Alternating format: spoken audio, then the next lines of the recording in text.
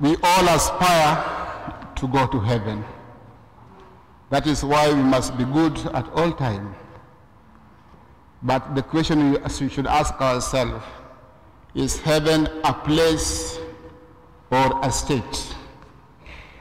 That state of grace, when you feel so much at peace with yourself, and not only with yourself, with one another, and then with the creation.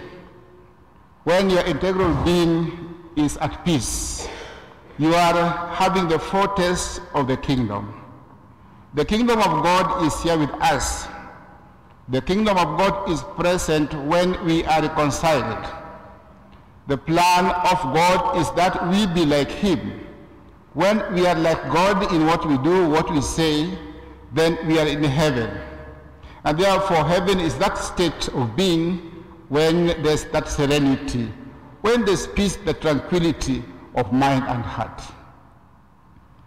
The first reading of the day is St. Paul writing to Philemon about this boy Onesimus.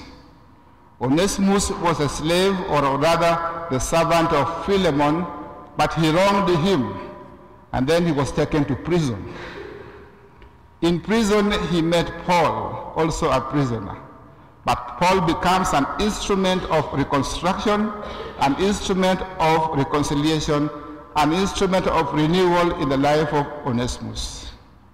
But then writing to Philemon to accept Onesimus back to him.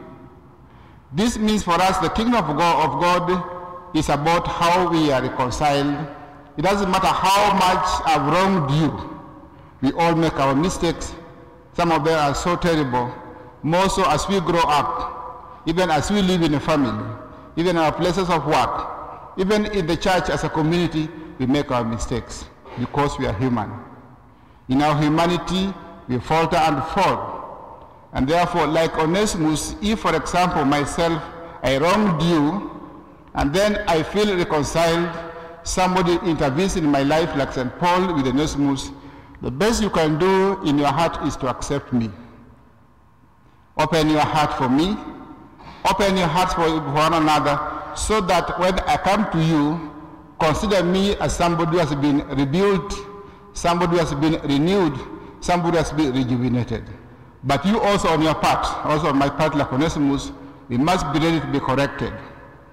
The world today, there are people who are living in the hubs. There are people who are also in the prison. They are locked or closed somewhere because of the terrible mistakes they have done in life.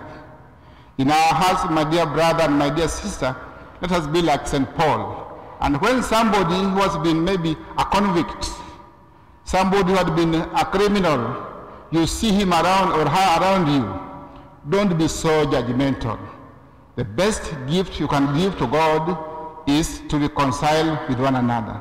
So when Christ says the kingdom of God is in your midst, it means the power in you to forgive. The best gift Christ gave us was the gift on the cross.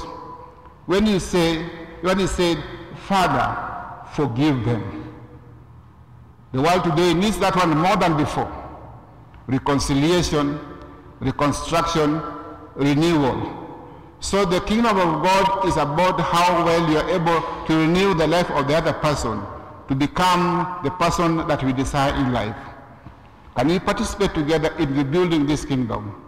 We pray for our brothers and sisters who are out there, not because they want to be what they are. The world has made them what they are today. They become criminals. Some are, are into drugs, some are into alcohol. They can be rehabilitated like, like St. Paul and Onesimus. Pray for their rehabilitation. Pray for our rehabilitation. Pray for our renewal. In the name of the Father, and the Son, and the Holy Spirit. Amen.